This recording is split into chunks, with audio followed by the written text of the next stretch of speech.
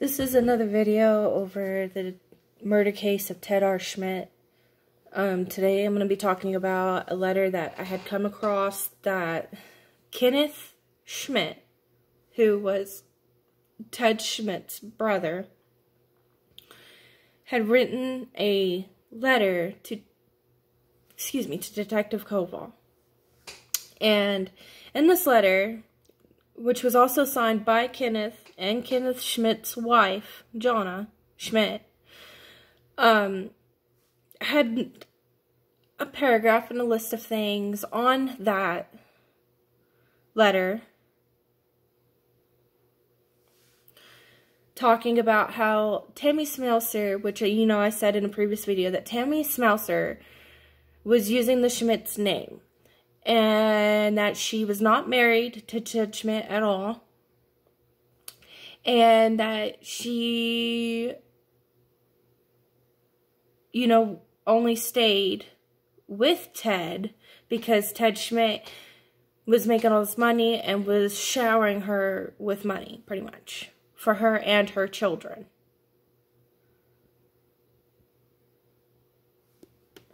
And Another thing is, in this letter, there was a list of items that was in the possession of Ted Schmidt at the time, such as a gold chain, his money that he got paid that day, and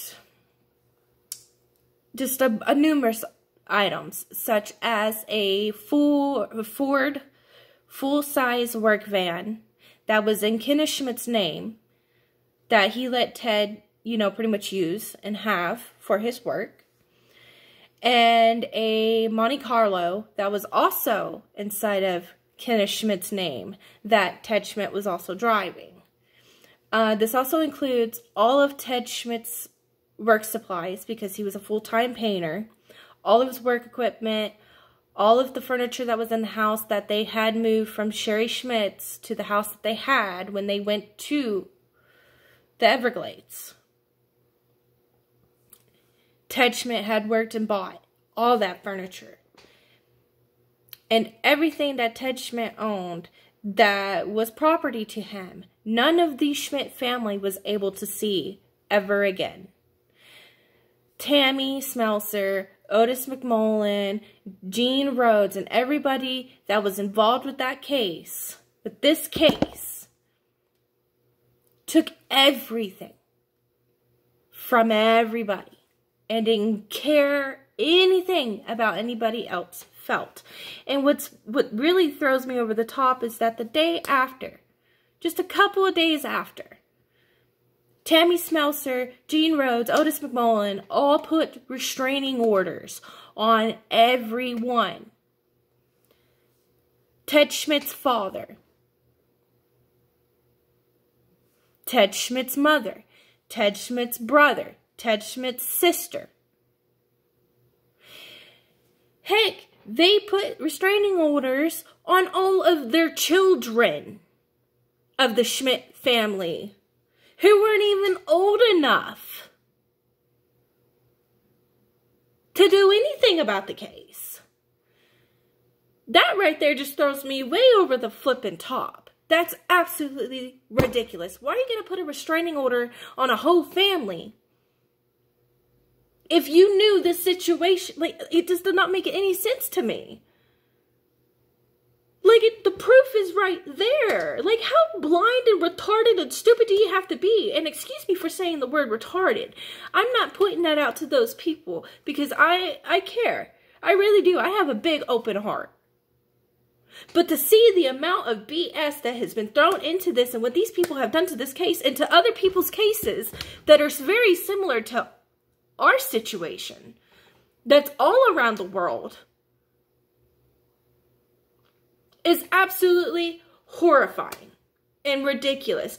I'll even give you an example. My father's brother, my biological dad's brother, who was shot in the back here just a couple of years back, was put on TV and the case was settled.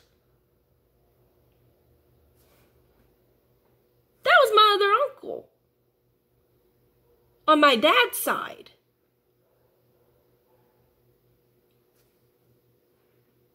What sense does that make? And I know it's been about a week. It's been about a week since this is all came down. I made a video prior to this one, but I didn't post it because there was so much going on on that day that I did not post it. And here it is a week later because I had to come to you at a time when everything is okay. Even though it's still not okay.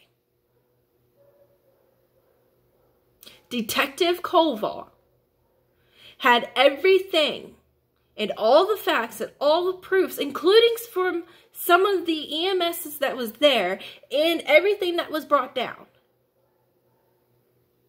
decided to continue the case and shut it just a week later after everything came to the surface.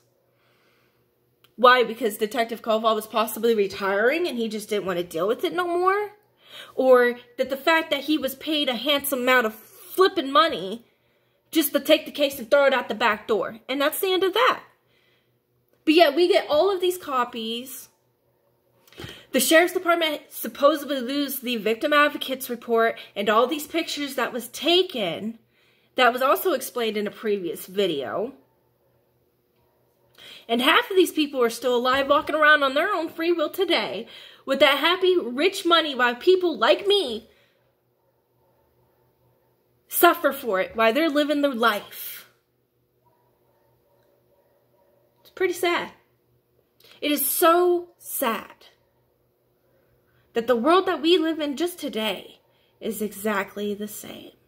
And it will never change because nobody has the balls to get out there and say something about it because you're afraid of your life being taken.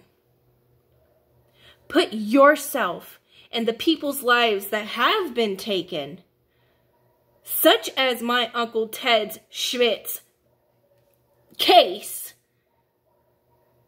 and put yourself in that. Picture yourself being held in a headlock that you cannot get out of. And the only thing that you have to use to, against the other people that are attacking you with serrated knives, which I don't even think was just a steak knife that was involved. I think there was other weapons too, but we're not going to go there. Put yourself in that position. And then you can tell me how you feel. I want to see how you guys would feel if somebody had you in a headlock, swinging blades at you, getting your foot cut pretty much in half, getting cuts all over your legs, broken bones, like just a whole bunch of stab wounds and slices. That is just downright torture. That's worse than being in the medieval age. It's almost like you're getting eaten alive, except you're being stabbed and choked to death.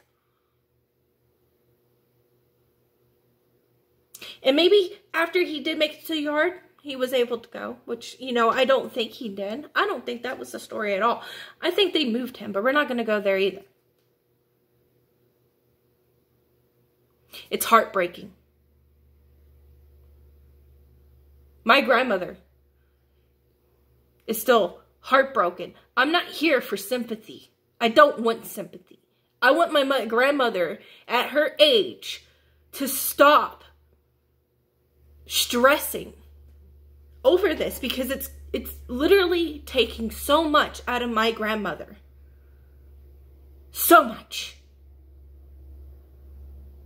Something just needs to be done. God bless.